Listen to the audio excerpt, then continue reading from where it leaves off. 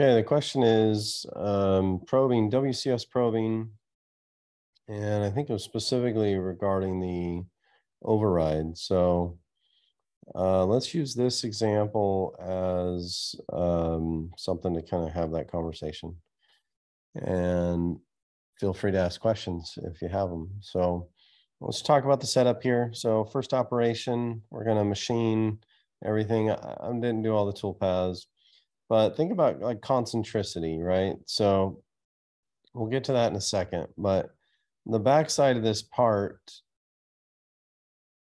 does you know but well the chamfers need to be concentric to that right but let's say you, you could also have a, a, a bore that has to be concentric to that bore and that bore and that bore so um first operation uh now the the setup the wcs setup is set to you know this surface uh this surface and this surface right so you can probe that location. So we're going to start off by probing that location to G54 in the machine.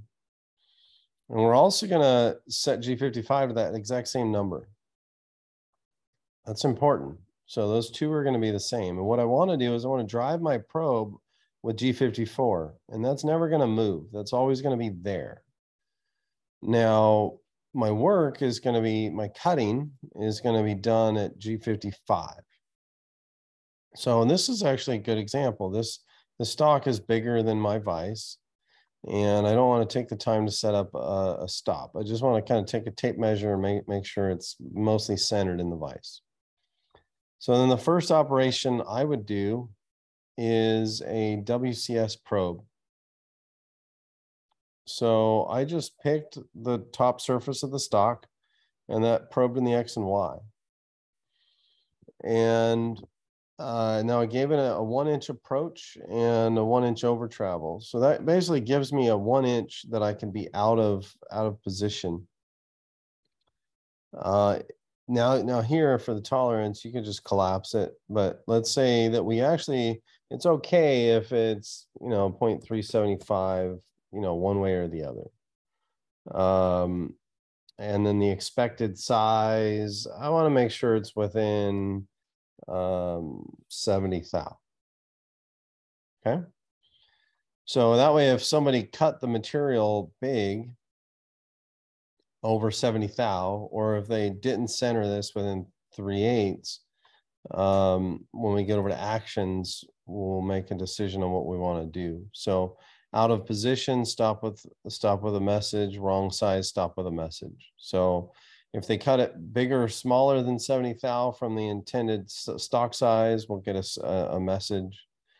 If it's out of position more than three eighths of an inch, we'll, we'll get a message. Now the override, I think, is specifically what this question was about.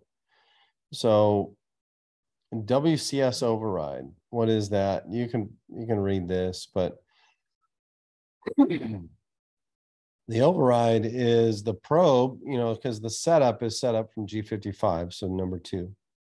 But we want to drive the probe from number one, which is uh, this location. They're the same location, but the probe never gets updated.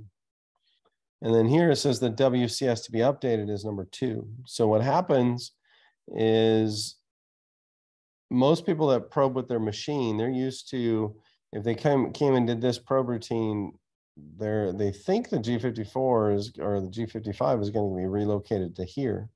It's actually not. It's going to stay here, but whatever whatever the stock was out of location, it's going to just shift it. So if the stock was to the right by three eighths of an inch, our G55 would just shift over down here three eighths of an inch or let's say 300 thou or whatever the, the, the difference was. That's what trips a lot of people up is that they think because they're used to doing a WIPS probing that when they probe up here that their, their location is going to get moved up here. So that's a pretty handy um, routine. We'll look at the code here in a second, but so we face, we do some roughing, and then we do these bores, right? um, do those bores too. So in this probe operation, uh, this is a geometry probe. I, I don't know why it's invalidated. I'll just run it one more time. So that's a geometry probe, which is here. So here we just pick that, uh, gave it a position tolerance. I'll just edit the, the, um, we gave it a position tolerance of half a thou, and we gave it a plus or minus size tolerance of half a thou.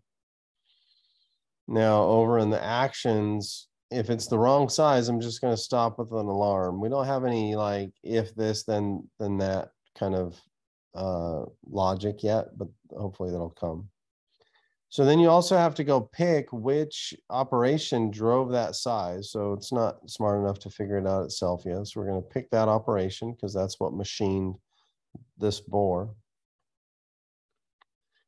And then we're going to say minimum update threshold. So if you want to update the tool size, you know, what do you want to ignore? So basically, if it's more than two tenths outside of what it should have been, then go ahead and update this tool diameter.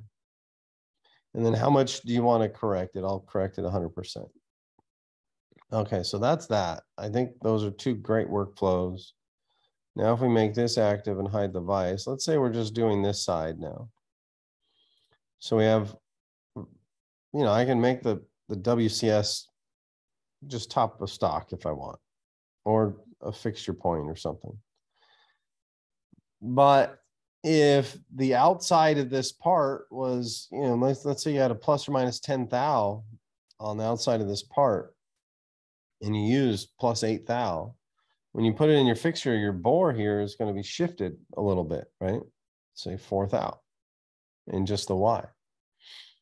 So before we chamfer it, or maybe before we add a counterbore to the backside that has to be super concentric, we want to face it to expose this bore and then we're going to come down and do another WCS probe. So inspection, WCS probe.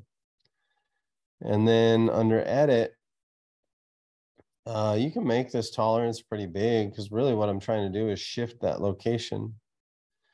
And it's probably worth talking the, the second operation I have it set up at G56, no, G54, uh, 5, uh, G55, six, yeah. So then on the probe operation, I set up 55 and 56 to be the same in the machine. So what I'm doing is 55, I have drive the probe because I don't want that to move from part to part. But my cutting is going to happen at, at 56. So as everything shifts, now when I come down to do a, a chamfer,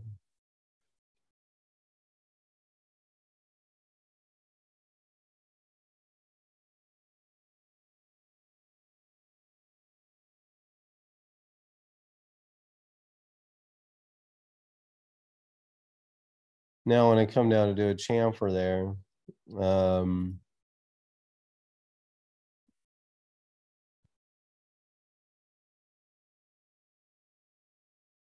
my chamfer will be driven off 56. So as everything shifted, my chamfer should be basically perfect, right? So what does this look like when we when we post this?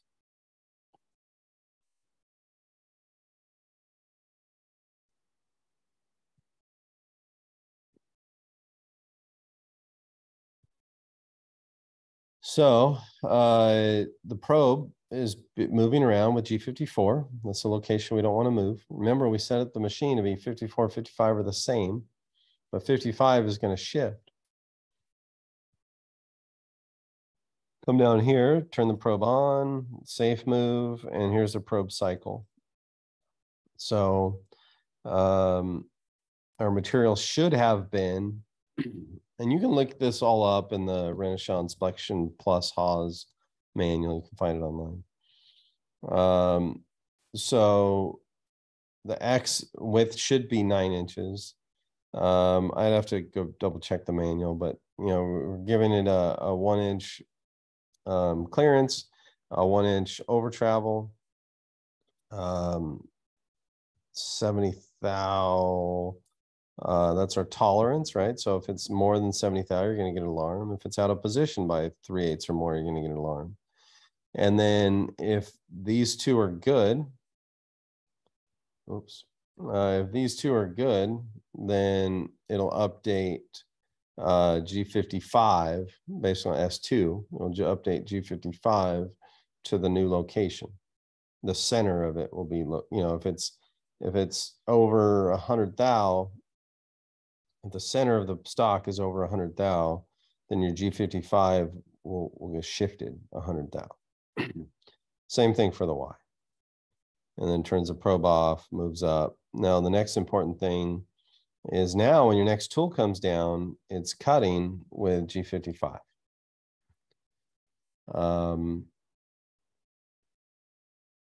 and then we can come down to the very bottom.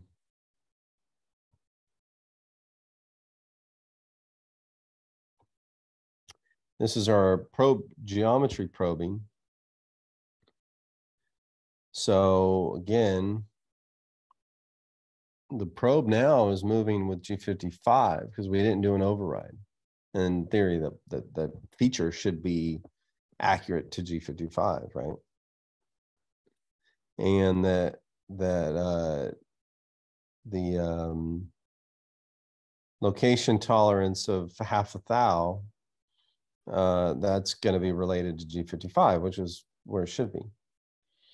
Um, so it's going to come down, it's going to measure that bore to be one and three quarters. Um, as long as the location is within half a thou of where it should be based on G55, which is what coordinate it was that got cut.